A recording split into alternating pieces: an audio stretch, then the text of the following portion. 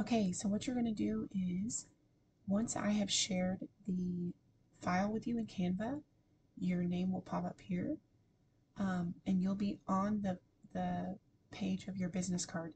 Typically, there will only be two pages, a front and a back. But if you have a team and each member is on there, you may have multiple pages like this.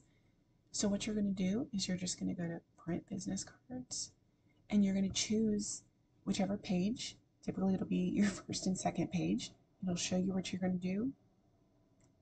Always choose premium paper. Typically, we choose a matte finish. It, it doesn't look as um, cheap. And then you choose how many.